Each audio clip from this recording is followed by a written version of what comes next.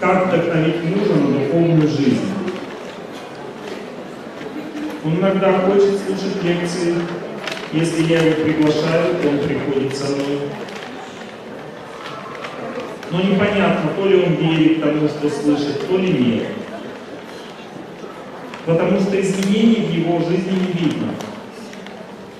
Он не знает, в какой религии он находится. Я понимаю, что у меня есть мечта, чтобы он был духовно развитым, но не знаю, как с этим справиться и как его вдохновить. Это не является особенной ситуацией. Это касается всех мужчин и всех женщин. Потому что женщины очень имеют близкое сердце к Богу. Бог женщине дал возможность быть ближе к Богу. Это благословение женщины. Но это не является ее заслугой.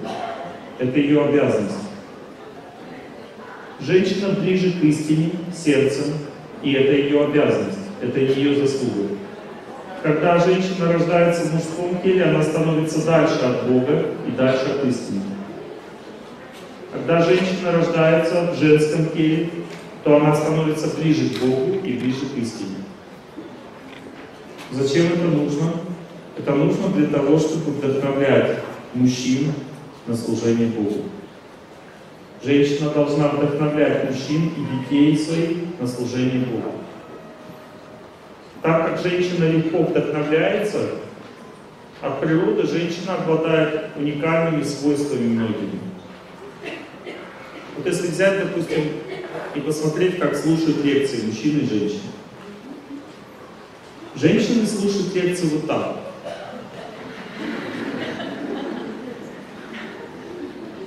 Они очень сильно верят. Женщина по природе очень сильно верит, склонна верить. Мужчины, мужчины слушают вот так. Они сомневаются во всем, изучают. Если мужчина слушает с верой, это значит, он большой путь уже прошел. Женщина сразу начинает слушать с верой. Иногда женщины приходят на лекцию и чуть-чуть сомневаются. Они смотрят на меня чуть-чуть так. Думают, то ли правду он то ли нет. Это значит, что женщина пришла первый раз. На второй раз она уже смотрит внимательно, на третий уже все. Она уже вся в лекции, уже все изучает.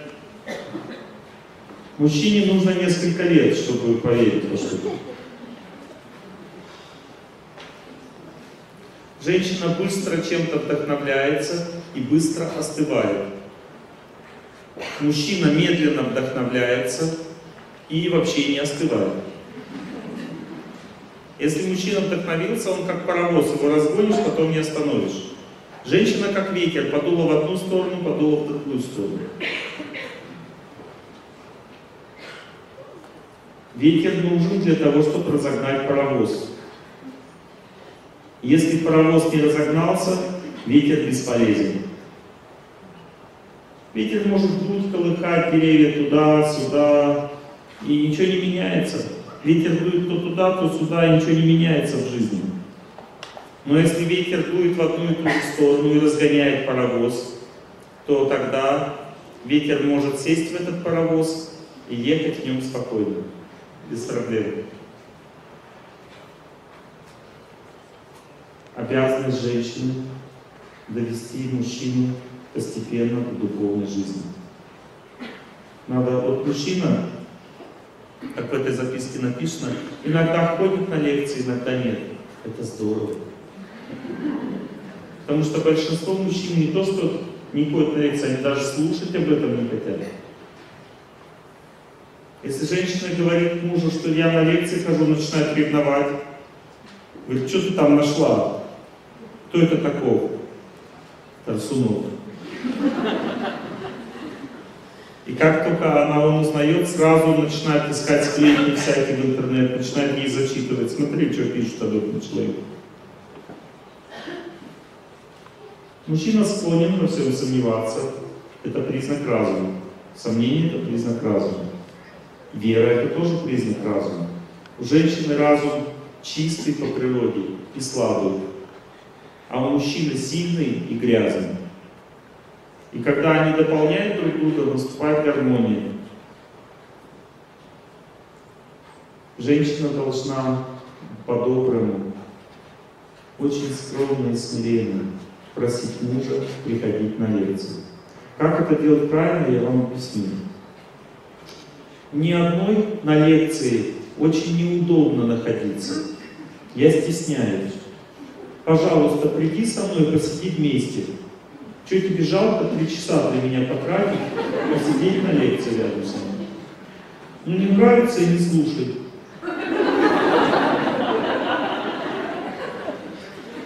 Просто приходи, посиди со мной на лекции.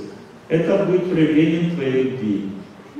Или приходи со мной, постой в храме. Я помолюсь, а ты постой просто там, в сторонке.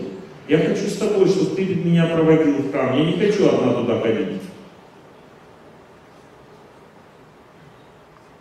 Если женщина так будет себя вести, и мужчина просто приходит с ней куда-то, то через два года он ей скажет, я и сам всегда стремился к этому знанию. И я сам на самом деле к этому пришел. И надо с ним согласиться.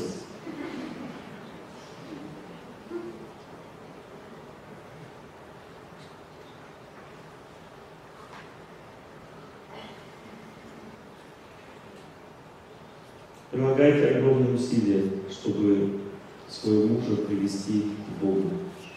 Если вы это сделаете, ваша семья будет полной сохранности. Изменяют только атеисты. Когда мужчина начинает думать о Боге, мысли о измене заканчиваются в его жизни. Мужчина, который реально идет к Богу, он никогда не предаст свою жену. Поэтому главная цель жизни женщины – это алтарь в доме, это очистить атмосферу от светской жизни. Светская жизнь означает страсть. Надо очистить атмосферу своей семьи от светской жизни. Надо, чтобы жизнь была религиозной. Найдите свою веру, ищите.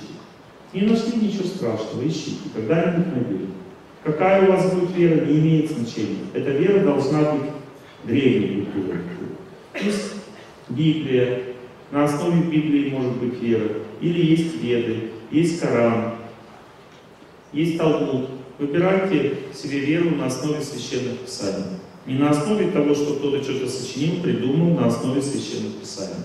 Выбирайте веру. Но без веры, если человек живет, гарантий сохранить семью нет.